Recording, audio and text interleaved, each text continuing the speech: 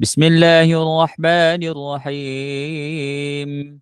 الحمد لله رب العالمين. الرحمن الرحيم. مالك يوم الدين.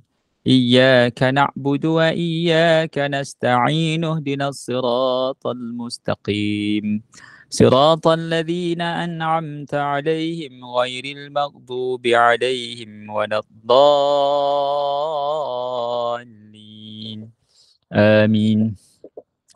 إن الحمد لله نحمده ونستعينه ونستهديه ونستغفره ونعوذ بالله من شرور أنفسنا ومن سيئات أعمالنا. من يهده الله فلا مضل له ومن يضلل فلا هادي له. أشهد أن لا إله إلا الله وحده لا شريك له وأشهد أن سيدنا محمدا عبده ورسوله. سبحانك لا علم لنا إلا ما علمتنا إنك أنت العليم الحكيم قال رب اشرح لي صدري ويسر لي امري واحلل عقدة من لساني يفقه قولي امين يا رب العالمين.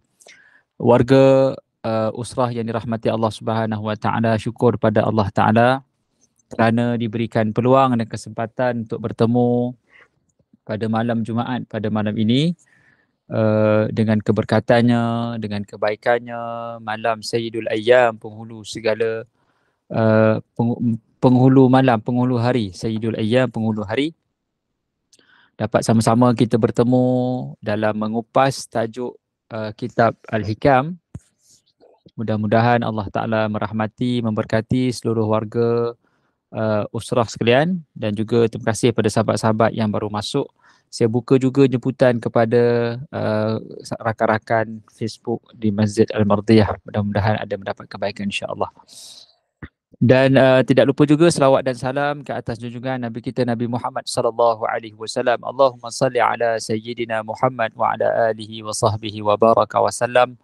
Ahli keluarga baginda dan para sahabatnya, para tabi'in, tabi' tabi'in dan doa berpanjangan buat umat Islam yang berada di Syria maupun di Palestin, di Kashmir, di Xinjiang, di seluruh dunia agar Allah berikan kekuatan insya-Allah. Dan kita juga berdoa pada Allah Ta'ala agar kita semua diberikan kekuatan untuk menjadi manusia yang lebih baik daripada hari ke hari khususnya bersempena dengan satu Muharram yang kita akan sambut pada hari Rabu nanti. Maka pasangkan niat untuk kita selalu jadi orang yang terbaik. Ha, kerana jadi orang yang terbaik ni adalah satu tuntutan. Maka minta pada Allah Ta'ala sungguh-sungguh agar kita menjadi yang terbaik insyaAllah baik kita menyambung uh, perbahasan kitab Al-Hikam oleh Syekh Ab- Ab- Ibnu Atta'illah Al-Sakandari pada muka surat keempat. Siapa ada kitab ni boleh buka kitab ni, ya, kitab ni. Ataupun seperti mana yang ada di paparan masing-masing, di skrin masing-masing ada kitab yang telah di-highlightkan oleh saudara admin kita, saudara Najib. Kita masuk pada masih lagi dalam membahaskan bab muqaddimah. Ya masih belum sampai ke intipati lagi pun ni muqaddimah je baru pertemuan dalam uh, membicarakan bab kitab Al-Hikam. Kita masuk yang belah atas tu uh, dan atas tu kan, uh, point dia mana? Uh, tamat. Tamat pada lap, ada tadi nota tu. Uh, kuliah tamat 8 6 2023. Okey baik. So kita buka muka surat 5 sebelah ya. Eh. Abdul Hasan Asyazili rahimahullah taala anhu berkata Aku dipesan oleh guruku Abdul Salam bin Mashi radhiyallahu anhu jangan anda melangkahkan kaki kecuali untuk sesuatu yang dapat mencapai keredaan Allah. Dan jangan duduk di majlis kecuali yang aman dari kemurkaan Allah. yakni yang bukan maksiat. Kita bicarakan berkenaan dengan ilmu tasawuf. Ilmu tasawuf ini adalah cabang ketiga daripada komponen ilmu yang mesti dituntut oleh semua orang Islam ilmu ada tiga komponen. Yang pertama akidah, yang kedua syariah, yang ketiga akhlak Islamiah termasuk juga ilmu tasawuf iaitu ilmu akhlak. Yang mana hubungan manusiawi dan hubungan dengan Allah Subhanahu Wa Taala dirangkumkan maka jadilah kitab antara kitab-kitab yang hebat dibahaskan adalah kitab Al-Hikam. Yang mana pengarang kitab berpesan pada kita antara pesanan untuk gurunya janganlah kita melangkahkan kaki kecuali untuk sesuatu yang dapat mencapai keredaan Allah. Maknanya setiap perkara yang kita buat ataupun setiap perkara yang kita melangkah biarlah ianya boleh membawa erti ibadah. Ya, kalau kita melangkah kaki ke satu tempat, ke satu majlis, ke satu um, tempat kerja, ya pastikan ada nilai ibadah. Ya, ada nilai ibadah. Kerana paling kurang kita boleh berzikir. Kalau dah majlis tu majlis tari menari joget lambak oh payah macam tu ya. Kita nak berada di majlis yang senang kita nak kalau berlaku kematian kita boleh dianggap sebagai husnul khatimah. Nah begitu. Eh, jangan duduk di majlis kecuali yang aman dari kemurkaan Allah yakni yang bukan maksiat orang yang uh, prihatin dia peka dia tidak akan duduk di majlis yang ada maksiat. Contohnya macam dihidangkan arak. Walaupun kita duduk di meja hujung, di tengah-tengah tu arak dihidangkan. Orang yang menelusuri perjalanan mencari cinta Allah, dia tidak akan berada di tempat yang adanya benda Allah murka. Ha, ataupun dalam atas stage tengah ada orang menari-nari ataupun benda maksiat sedang berlangsung. Maka dia cuba elakkan diri dia daripada daripada terjebak kepada majlis itu. Dia tak pergi pun. Kalau pergi kemudian ada benda maksiat dia tinggalkan. Ha, ini antara amalan-amalan amalan-amalan para para alim ulama. Ha, cuma kita belum sampai ke tahap tu mungkin kita boleh terima sikit lah. Kita boleh tolerate tapi dia ada tahap-tahap dia lah. Tahap macam mana kita boleh tolerate dengan maksiat yang sedang berlaku. Baik. Dan janganlah kita bersahabat kecuali kepada orang yang dapat membantu berbuat taat kepada Allah. Pesanan yang kedua bukan sekadar kita tidak berada di suasana maksiat, kita juga bersahabat dengan orang yang boleh membawa kita kepada Allah dan elakkan bersahabat yang boleh membawa kita kepada jalan maksiat. Ya, kita ni bukannya baik sangat, ya, tapi bila dah berkawan dengan orang yang baik, insya-Allah kita paling kurang dapat jadi baik. Ya, kalau kita berkawan dengan orang yang maksiat, kita yang baik pun jadi malas nak buat baik. Sebab nanti kan dia kata, eh poyonya ha, kan susah lah. ha, macam baiklah awak ni ustazah ke nak tegur-tegur saya. Ha, jadi maknanya susah untuk kita menjadi lebih baik kalau kita berada pada kawanan manusia yang tak nak kita jadi baik. Yeah? Ha, jadi pertama faktor untuk jadi baik, environment. Mesti supportive. Yang kedua, kawan. Siapa kita berdamping. Dalam peristiwa hijrah, Nabi SAW berdamping dengan Saidina Abu Bakar As-Siddiq radhiyallahu anhu menunjukkan sahabat yang memiliki hati yang kuat Nabi pilih untuk berdamping. Ada Umar, ada Osman. Umar kuat fizikal, Osman kuat material. Abu Bakar kuat hati. Tetapi Nabi SAW di antara tiga-tiga tu, Nabi memilih kuat hati. Ha, kuat hati menyebabkan uh, maksudnya kriteria pemilihan Nabi SAW untuk berhijrah Nabi pilih kawan yang kuat hatinya, cekal hatinya. Abu Bakar As-Siddiq radhiyallahu anhu. Baik. Waalaikumsalam. Terima kasih pada Hakak Haruniza, Siti Maisarah dan semua yang hadir. Terima kasih pada semua yang baru hadir, Ahmad Fatilah dan saudara Mas Lani, masya-Allah. Baik, kita sambung. Yang pertama tadi jangan duduk dalam majlis maksiat. Yang kedua jangan bersahabat dengan orang yang dapat yang tidak dapat membantu kita mengenali Allah, taat pada Allah. Dan janganlah memilih sahabat karib kecuali orang yang menambah keyakinanmu terhadap Allah. Kita kalau nak berkawan, kita berkawan dengan orang yang boleh memimpin kita untuk kenal Allah. Dipanggil murabbi.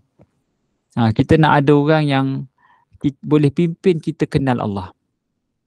Ha, tapi tidaklah berarti kita tinggalkan kawan-kawan yang sedia ada. Kalau kita tinggalkan dia, kita yang ada kesedaran, tinggalkan kawan yang tak berapa nak sedar ni, jawapan dia, lagi sesatlah kawan tu. Jadi kita mesti tahu di mana tempat yang perlu yang perlu kita berada untuk tim untuk dapatkan kekuatan. Ya, kita kawan dah baik-baik ataupun kita kawan dengan kawan yang yang lebih baik, insya-Allah kita akan jadi lebih baik. Ha, sama juga kawan karib. Tadi tu bersahabat, ni terus jadi kawan karib. Sedang yang demikian itu kini sangat jarang ditemui. Ha, maknanya nak dapat suasana yang baik pun susah, nak dapat sahabat yang boleh membantu taat pada Allah pun susah. Nak cari kawan karib yang menambahkan yakin terhadap Allah pun susah. Kadang-kadang sahabat tu dia suruh taat pada Allah tapi yakinnya tak ada. Uh, yakin dia tak ada. Yakin pada Allah Ta'ala ni yang yang bersifat qana'ah. Yang bersifat bersederhana. Yang bersifat berpada-pada. Ya, yeah, kalau kawan tu dia fokus kepada uh, mendapat habuan duniawi, oh tak tenteram kita, tak tenteram. Ya, kita akan hari-hari cerita pasal uh, nak dapat keuntungan yang banyak sebagai contoh. Jadi kita tak boleh nak settle. Kita tak boleh nak tenang lah. Tak salah. Tapi maksudnya dari sudut uh, secara tasawufnya dia menyebabkan kita rasa penat untuk uh, melayan permintaan pujuk rayu dunia. Ha, sebab selalunya kalau kita dalam dunia sales kan dia tak ada limit.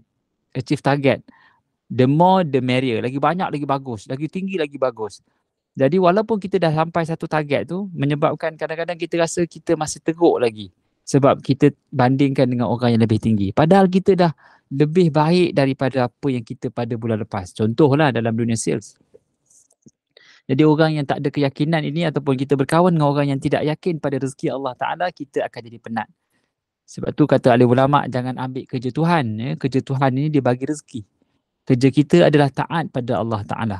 Selagi mana kita buat kerja manusia, kita tak ambil kerja Allah Ta'ala, ah, kita berada pada keadaan yang normal lah, yang baik lah. Tapi kalau dah mula kita ambil kerja Allah menentukan masa depan, kemudian kita letakkan rezeki tu di tangan kita pula, kita rasa uh, kita bersalah sangat kalau kita tak dapat cari rezeki sedangkan rezeki itu milik Allah Ta'ala uh, maka kita lah jadi orang yang paling penat sekali. Pasal nak ambil kerja Tuhan. Kerja sendiri pun tak siap ambil kerja orang. Kerja orang tu ni kerja Tuhan dia ambil. Uh, jangan ambil kerja Tuhan eh? ingat. Baik. Sedangkan yang sedemikian itu kini sangat jarang ditemui. Sambung. Said Ahmad Al-Badawi radhiyallahu anhu berkata perjalanan kami berdasarkan yakni bersendikan kitab Allah dan sunnah Rasulullah. Ha, maksudnya dalam mencari Allah Ta'ala, dalam menjadi orang yang mendusuri perjalanan tasawuf, dia tak boleh lari daripada dua iaitu Quran dan kitab Allah. Al-Quran dan sunnah Rasulullah. Kalau dia ambil selain, rujukan selain daripada Al-Quran dan hadis Nabi SAW, boleh tapi ianya mesti berada pada pada tempat yang dibenarkan oleh syarak. Contohnya ijma' qiyas. Dalam menentukan hukum hakam Islam ni tuan-tuan puan, dia ada dua sumber. Pertama primary source, yang kedua secondary source. Ha, apa source pula dah. Sumber utama, sumber kedua. Sumber utama ada empat. Apa dia? Quran, sunnah, ijma', qiyas. Ini sumber. Sumber utama uh, sumber utama hukum hakam Islam, ijma' uh, Al-Quran, sunnah, ijma' qiyas. Baik. Sumber kedua apa dia? Sumber kedua tu sumber yang kedua lah. Kaul sahabi, uruf, istihsan, istishab, sadu zara'i, masalah, masalah mursalah. Ini semua dipanggil kaedah-kaedah menentukan hukum selepas daripada empat ni tak jumpa. Kita cari dalam Quran tak jumpa. Kita cari dalam hadis tak jumpa. Kita cari dalam dalam um, Allah Masallah Muhammad. Ijma' tak jumpa. Qiyas tak jumpa. Maka jumpa dalam bab uruf. Uruf ni maksudnya tempat itu sendiri yang decide. Sama ada benda tu boleh buat ataupun tak boleh buat. Ha, itu sumber hukum eh. Sumber hukum ni boleh diukur dengan uh, adat juga. Adat. Adat ni boleh jadi satu sumber hukum kalau tak ada pada Quran dan hadis Nabi dan juga ijma' dan kias. Contohnya adat orang Melayu, uh, adat kita uh, contohnya kita kita jalan depan orang tua tunduk. Uh, tunduk sikit. Itu dipanggil adat. Contohlah eh adat. Sebab dalam Islam kita dilarang untuk bowing ataupun rukuk, rendah daripada rukuk. Ada orang dia tak boleh. Tapi di situ boleh dibenarkan kerana ada uruf yang mana kita terima itu sebagai satu uruf. Uruf ni adat. Dia ada adat yang diambil daripada ibadat. Ibadat yang telah dijadikan adat. Itu baiklah. Ha, tapi kalau ada adat yang purely adat, ha, maka di situ maka ulama bahas sama ada ianya bercanggah ataupun tidak.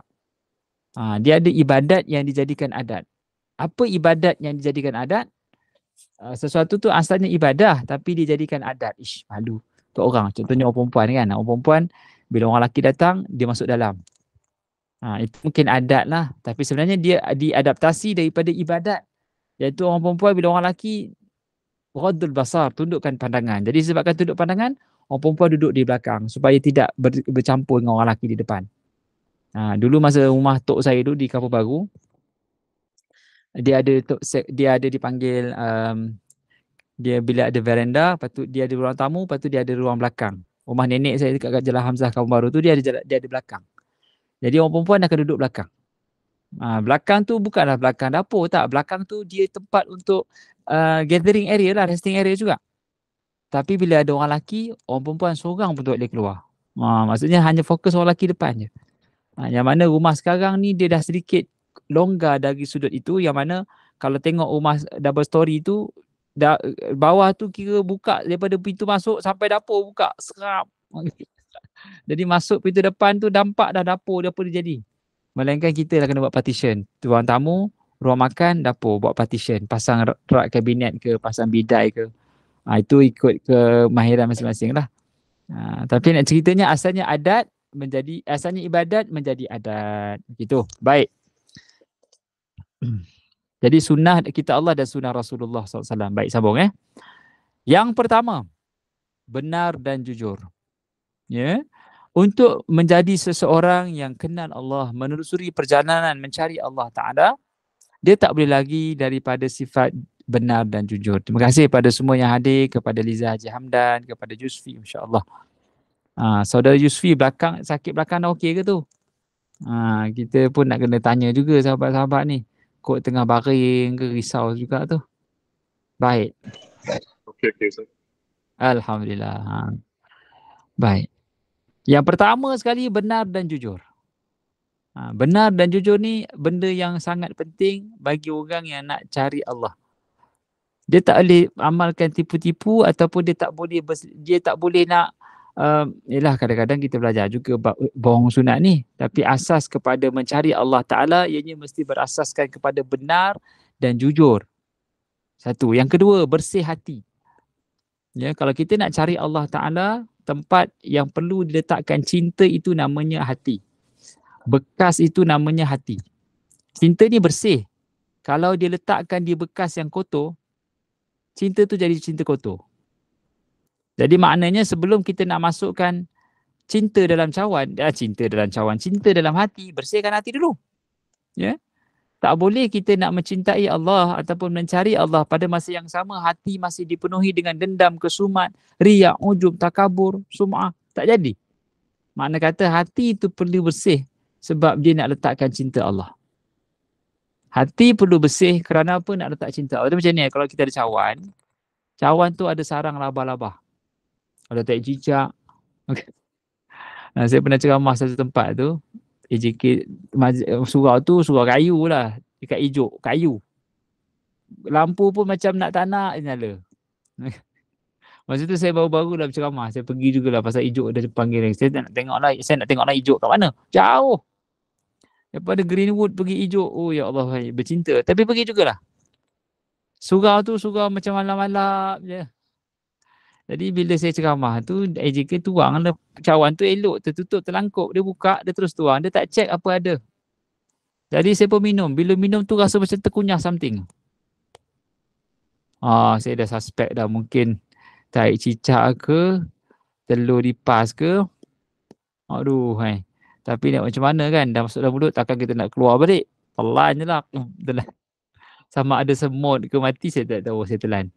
Ha, setakat ni Alhamdulillah lah hidup lagi lah tak adalah mati. Tapi makna kata air yang bersih itu kalau dituang ke dalam cawan yang kotor maka air itu jadi kotor. Sama lah cinta, cinta pada Allah Ta'ala.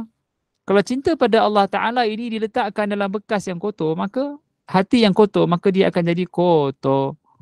Jadi perkara perkara utama selepas benar dan jujur untuk mencari cinta Allah seseorang itu mesti memiliki hati yang bersih. Ha, mesti memiliki hati yang bersih. InsyaAllah. Yang ketiga, selalulah menepati janji. Ha. Ha. Ha, InsyaAllah, terima kasih pada Hakak Harun Niza. Ha, ya, pernah pergi ceramah dululah. Ya, makan cawan tu, minum cawan tu. Baik, menepati janji. Salah satu kriteria manusia yang nak mencari cinta Allah, dia selalu meletakkan janji, dia selalu menepati janji. Tak apalah, kita go through satu-satu sebab benda ni akan dibincangkan secara detail nanti bahas bila masuk dia punya konten nanti. Yang keempat menanggung tugas dari derita dan yang kelima menang, menjaga kewajipan. Ini dipanggil uh, beberapa perkara asas untuk menjadi seseorang yang cari cinta Allah. Baik, seorang murid bertanya kepada Abdul Ali bertanya. Bernama Abdul Ali bertanya. Apakah syarat yang harus diperlakukan oleh seorang yang ingin menjadi wali Allah? Waliullah ni wali Allah lah. Apa maksud wali Allah? Wali Allah ni orang yang dekat pada Allah. Kata Nabi SAW, Allah Ta'ala berfirman dalam hadis kutsi, siapa-siapa yang menyakiti waliku, maka dia menyakiti, menyakitiku. Dan sesiapa yang yang yang mendapat keredaanku, yakni menjadi wali Allah, sesungguhnya dia melihat dengan mataku, dia mendengar dengan pendengaranku, dia bercakap dengan percakapanku.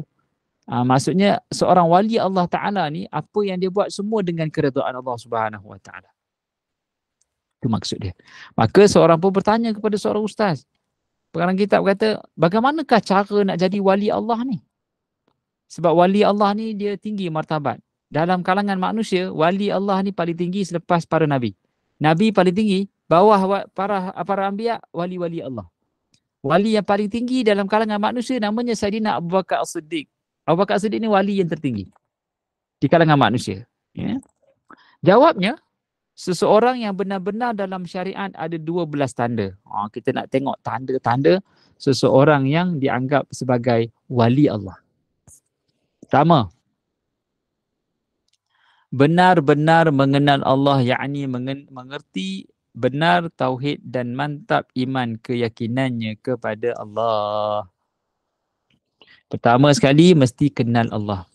Orang yang nak cari cinta Allah, kalau dia tak kenal Allah, maka dia tak betul-betul cinta lah.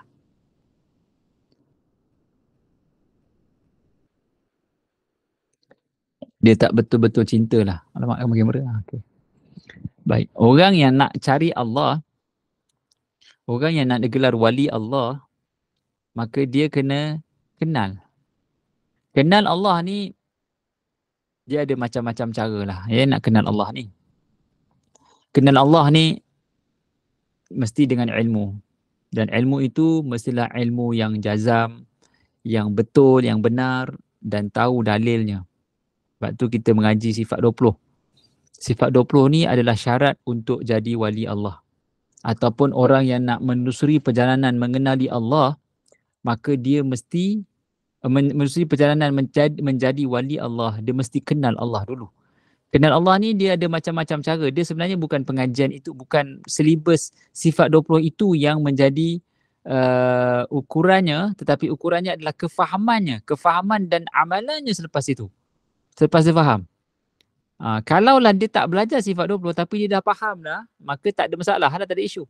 Tapi persoalannya faham kita faham yang macam mana? Kita nak faham biar ada selari dengan para alim ulama yang telah terbukti kefahamannya kefahaman yang benar berkenaan dengan dengan sifat Allah Subhanahu Wa Taala.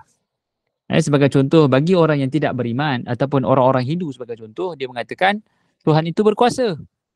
Kita nampak secara zahir Tuhan berkuasa eh macam orang Islam. Ha nampak. Tetapi sampai ke peringkat mana kata mereka Tuhan itu berkuasa macam orang Islam percaya. Tetapi Tuhan kami, kami percaya Tuhan kami berkuasa untuk jadi semua benda. Jadi monyet boleh, jadi kala jengking boleh, jadi ular boleh, jadi orang boleh, jadi hantu boleh.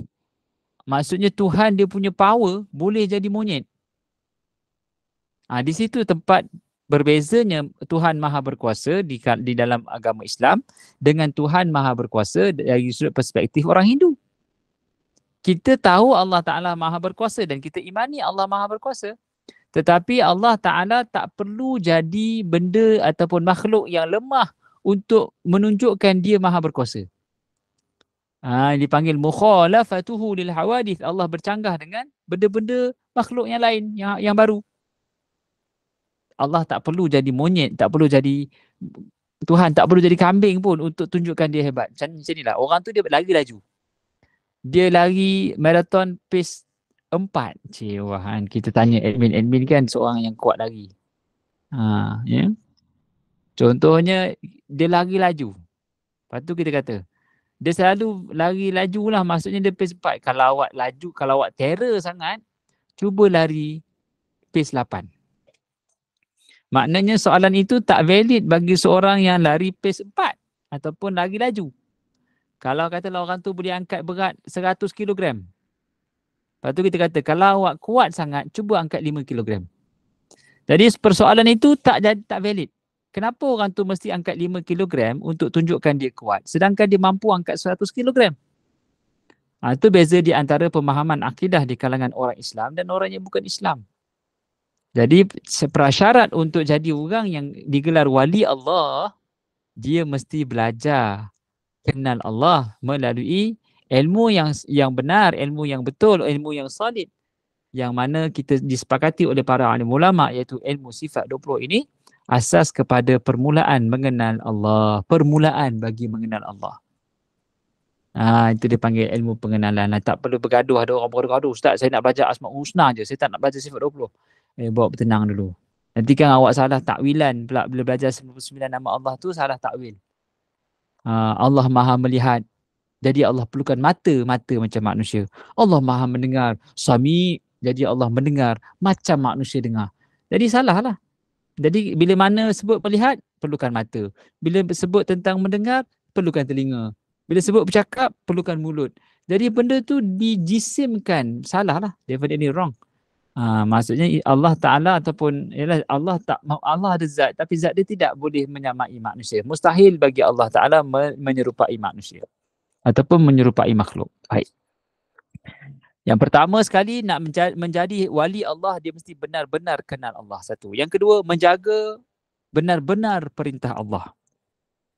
Orang yang kedua yang nak kenal Allah yang menjadi wali Allah ni dia mesti menjaga syariat. Ah ini sebagai pedoman kita bersama lah. Kadang-kadang kita nak join satu grup kumpulan orang nak jadi baik. Kita nak join grup mungkin uh, dulu kan ada grup Maunah kan dekat Sauk tu. grup Maunah. Uh, orang Kuala Kangsar. Hai, penin rasa.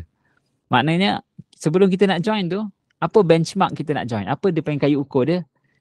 Dia mesti jaga syariat macam mana baik, macam mana teruk pun baiklah sebab kita nak join selalunya sebab benda baik. Dia mesti jaga syariat. Apa syariat? Solat awal waktu, pisah laki perempuan, dia tidak bersembang benda lara. Kalau syariat dia jaga maka tinggi. Maka betul lah tu. Ha, ini dia kata siapa-siapa join kita, kita tak payah semahyang. Pasal semahyang kita Allah dah ampunkan dosa kita semua. Ha, kita pun dah jadi macam dah ni. Ha, maksudnya anda-anda yang datang pada malam ni adalah anda-anda yang terpilih. Sebab tak ramai orang yang boleh join malam ni punya perjumpaan tanpa izin daripada Allah. Jadi tuan-tuan dan puan semua tak payahlah fikir ada laki ke ada suami ke ada isteri ke. Sekarang ni kita semua adalah hamba Allah Ta'ala. Jadi tak ada ikatan suami dan isteri. Oh payah macam tu. Ya kalau itu berlaku maka dia tak ikut syariat. Ha, mana boleh? Awak cakap gitu pula. Ada isteri orang, ada suami orang dalam tu. Lepas tu awak cakap tak ikut syariat. Tak boleh. Itu dipanggil asas kepada pemilihan mana-mana group of people dan manusia yang kita nak join sebagai sahabat. Ha, terima kasih pada Kak Liza Haji Hamdan daripada Bandar Tun Hussein On. Ramai malam ni Masya Allah. Ya. Bagi yang baru nak join, group ni adalah group pada surau Tiara Kondo. Ha, di uh, Bukit Indah, Hampang. Ha, jadi saya pun rasa macam terpanggil pula malam-malam Jumaat ni mungkin ada ramai yang nak join kelas. Jadi saya buka lah pada grup Facebook WhatsApp saya. Ya, grup WhatsApp yang kawan-kawan di Facebook. Jadi Alhamdulillah ramai yang yang free. Saya cakap yang free saja. Sebab malam ni pun ada ceramah online Ustaz Abdul Somad. Jadi mana yang free sajalah boleh hadir. Bagi sahabat-sahabat Tiara Kondo yang mungkin terkejut. Eh, nama ramai-ramai ni siapa pula? Ha, saya beritahu siap-siap. Ha, tapi ustaz ramai yang wanita daripada lelaki. Grup ustaz tu perempuan je ke? Itulah tu grup saya ni banyak perempuan. Ha, laki adalah seorang dua. Ya, daripada dua, seratus lebih orang tu adalah seratus satu dua orang lakinya. Yang lain semuanya adalah wanita. Ha, saya ni memang seorang pecinta wanita lah. Itulah. Susah orang nama Jamil ni sebenarnya. Tapi dah macam mana dah? Namanya Sabran Jamil. Baik sambung eh. Menjaga perintah Allah. Dua. Yang ketiga berpegang teguh pada sunnah Rasulullah. Ha. Berpegang teguh kepada Rasulullah sallallahu alaihi wasallam. Maknanya orang yang nak mencari jalan Allah Ta'ala, orang yang nak kenal Allah Ta'ala, orang yang nak digelar wali Allah itu mestilah mengikuti jalan Rasulullah sallallahu alaihi wasallam pegang sunnah Nabi sunnah ada berapa tiga yang pertama apa yang Nabi buat yang kedua apa yang Nabi cakap ketiga apa yang Nabi benarkan kita tak boleh ikut jalan lain kalau jalan lain itu jalan itu kalau bukan Nabi lalu maka tak boleh mungkin jalan lain itu cara pandangnya lain lah tapi tetap jalan Rasulullah SAW dia macam ni lah. Saya daripada Gombak, saya daripada Taman Melawati nak pergi ke Tiara Kondo di Bukit Indah. Masjid Bukit Indah, Tiara Kondo. Ada beberapa jalan. Pertama jalan yang paling laju sekarang ni SUKE, suka. Uh, saya sekarang ni suka nak pergi ke area Bukit Indah, Taman Kosas ke Surah Fatimah Zahra ke kepada uh, Surau Bandar Baru Ampang ke Masjid Bukit Indah laju sekarang ni sebab naik suka. Highway suka, SUKE. Oh laju, seronok saya tak payah ikut jam-jam. Dulu nak menghadap jam tu sekarang tegak aja. 10 minit sampai ke ke ke Bukit Indah. Dulu masa saya ceramah di Bandar Tunisian On, Masjid Tunisian On, betul tak pukul 4 4 suku. Asal masa tu 4.25. 4 suku 4.25. Jadi lepas 25 tu dia ada buffer 10 minutes and untuk komat. Jadi bayangkan daripada di cerdas 4 suku di Taman Meloti pukul 4 35. Maksudnya dalam tempoh 20 minit, pecut tu daripada Masjid Bandar Tusin On, ikut highway tu, naik atas SUKE, zoom sampai sini. Laju. Seronok. Ha. Jadi nak pergi ke Ampang, pertama sekali jalan utama SUKE. Yang kedua ada jalan pergi ikut ikut uh, bawah. Ya, yeah, maksudnya ikut Grand uh, Grand Baraka terus tegak ke atas. Ada yang ketiga ikut dalam, ikut Ampang Jaya. Ya, ada jalan yang tegak, ada jalan bersimpang siur. Tapi jalan ketiga-tiga ni jalan yang boleh dilalui. Ha, dan para ahli ulama berpandang dalam keadaan berbeza-beza bila melihat jalan Rasulullah sallallahu alaihi wasallam. Ha, ya terima kasih pada Kak Liza Haji Hamdan. Masa masa hari itulah yang saya nak cepat sangat tu tapi sebab kita dah sebab dah bergambar-bergambar jemaah masjid uh, Bandar Tun Yasin on jadi patut pecut jugalah hari tu. Masya-Allah. Ah, betul Kak Zah. Masuk Kuala Lumpur ni memang pening sikit lah. Melainkan kena tengok Google Map. Ha, yeah. Dan mereka melihat cara hidup Rasulullah SAW dengan sudut pandang berbeza. Kalau tengok bab solat sendiri pun sahabat bercanggah. Ada yang angkat jari macam ni, tasyahud awal. Ada yang berpusing-pusing. Ada yang goyang-goyang. Itu bergantung kepada sudut mana dia pandang perbuatan Nabi SAW. Ada yang tangan tak di dada. Ada tangan letak di perut. Ada tangan tak letak langsung. Ada yang turun lutut dulu. Ada yang turun tangan dulu. Sebab apa? Sebab ada bertengok nama cara Nabi SAW solat. Itu solat pun berbeza. Bayangkan cara hidup Nabi SAW dipandang macam mana. Ha, maka salah satu kriteria manusia yang nak mengenali Allah Ta'ala, yang nak berjalan kenal dan cinta Allah Ta'ala, maka dia kena berpegang teguh kepada sunnah Rasulullah sallallahu alaihi wasallam. Ah ya betul ya masya-Allah. Sambung. Yang keempat, selalu berwuduk. Yang ini sentiasa, yang ini bila berhadas segera memperbaharui wuduk. Yang ini lebih kepada dipanggil uh, plus point lah. Ya, ataupun nilai tambah kepada seseorang yang nak mencari cinta Allah. Maka dia selalu menjaga kebersihan diri dia. Ha. Yang kelima, muka surat 6 sebelah. Ya. Rela menerima hukum qada Allah dalam suka mahupun duka. Ya menjadi orang yang mencari wali mencari cinta Allah menjadi wali Allah dia sedia terima qada dan qadar Allah dia tak boleh terima yang baik je tau yang buruk pun kena terima oh senang dia je dia terima yang baik je bila yang buruk dia, dia question Allah Taala tidak adilnya manusia bila mana diberikan keseronokan kebahagiaan keke- kekayaan dia tak pernah tanya Allah ya Allah kenapa aku kaya ya Allah Ya Allah, kenapa aku bahagia ya Allah? Kenapa aku seronok ya Allah? Dia tak pernah tanya.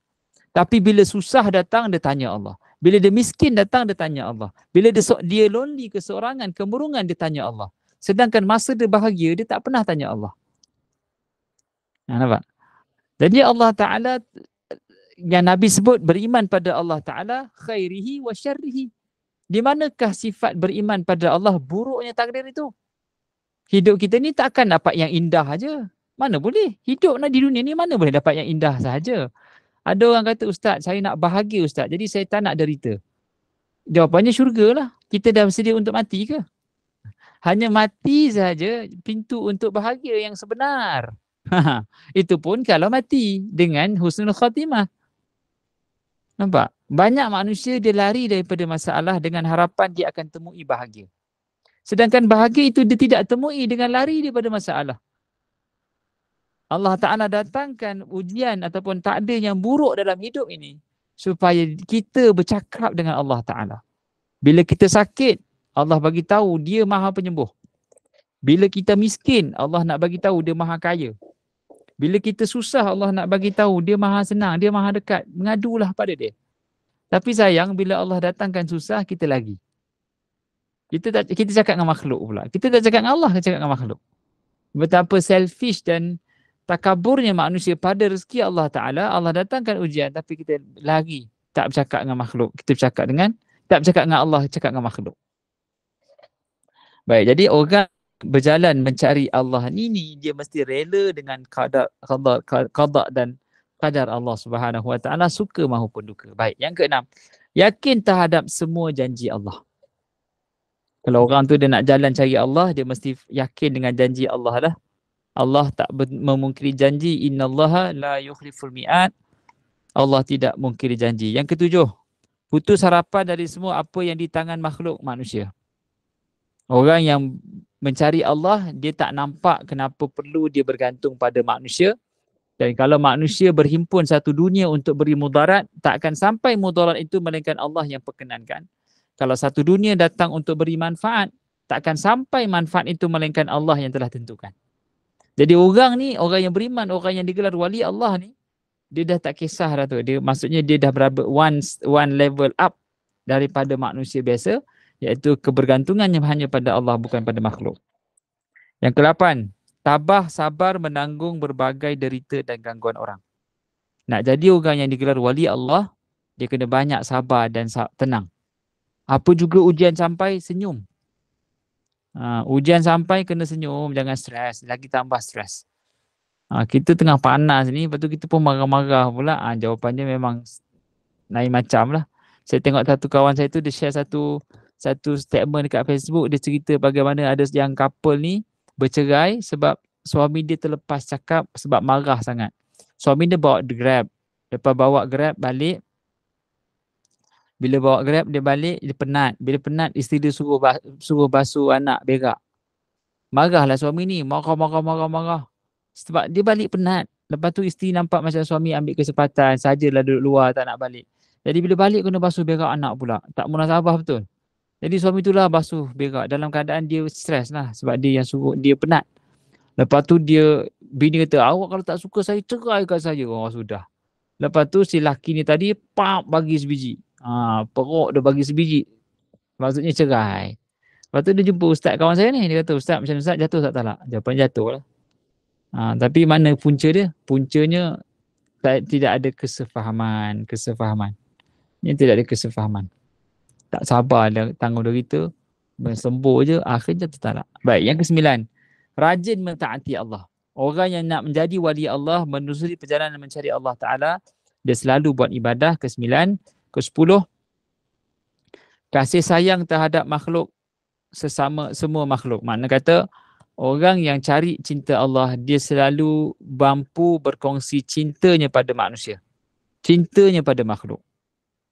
Ha, maksudnya makhluk juga mencintainya, dia juga mencintai makhluk yang lain. Itu dipanggil uh, orang yang mencari Allah. Yang ke-11 tawaduk merendah diri terhadap apa yang orang yang lebih tua atau lebih muda. Maksudnya selalu merendah diri. Itu sifat orang yang digelar wali Allah selalu merendah diri. Dan yang ke-12 menyedari selalu bahawa syaitan itu musuh yang utama iaitu orang yang kenal Allah Taala mencari Allah dia akan dia akan tahu bahawasanya uh, musuh yang sebenar namanya iblis dan syaitan. Ya, sedangkan saran syaitan itu dalam adalah hawa nafsumu dan selalu berbisik untuk mempengaruhimu. Inna syaitana lakum aduwwun fattakhidhuhu aduwwa sesungguhnya syaitan itu musuhmu maka waspadalah selalu dari tipu daya musuh itu. Surah Fatir ayat ke-6. Kemudian Ahmad Al-Badawi melanjutkan nasihatnya, Hai Abdul Ha'al, berhati-hatilah daripada cinta dunia sebab itu bibit dari segala dosa dan dapat merosakkan amal saleh. Hubbud dunya, ra'su kulli khati'ah, cinta pada dunia itu pokok ataupun sumber segala kejahatan. Wallahu a'lam. Ya, kita berhenti pada muka surat tujuh insya-Allah. Jadi saya ucapkan jazakumullah khairan katsira. Terima kasih atas kehadirannya. Mudah-mudahan sedikit kupasan kita pada malam ini dapat sama-sama ambil iktibar. Boleh beli kitab ni. Kitab Al-Hikam. Ya. Syekh Atailah As-Sakandari. Ya, insya-Allah. Jadi uh, sekiranya tidak ada soalan dan saya pun tidak berhajat untuk buka soalan nanti kan panjang pula malam-malam Jumaat ni tak boleh panjang nanti kan ngantuk. ha, mudah-mudahan apa disampaikan dapat sama-sama kita iktibar, ambil iktibar dan jadikan sandaran dalam kehidupan. Terima kasih pada semua yang hadir. Mudah-mudahan Allah Taala merahmati memberkati pertemuan ini.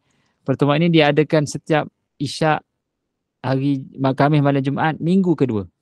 Kita akan bahas kitab ni sebulan sekali lah. Ah, sebulan sekali tak tahulah bila nak khatam tu. ha, kalau tidak dulu kita buat depan-depan. Depan-depan ada makan sate. Tapi sebab sekarang ni kita buat online, jadi makan sate sendiri-sendirilah. Siapa nak sate, nanti boleh claim dekat uh, poket sendiri. Ha, Wallahu alam. Aku lumada tasma'un. Aku qawli hadha wa astaghfirullahaladzim li walakum. Terima kasih atas kehadiran semua sahabat-sahabat. Ahmad Nasir Osman.